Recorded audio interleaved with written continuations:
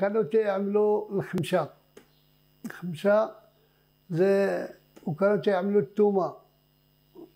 وكانوا تي كان الحجان تي تيكتب الحرج الحرج تيعملوه في الدار والحاجة المزيانة اللي كانوا في الميمونة كانوا يجيو من الصلاة ويجيبوا معاهم ربطة الشعير ويجيبوا معاهم الفول.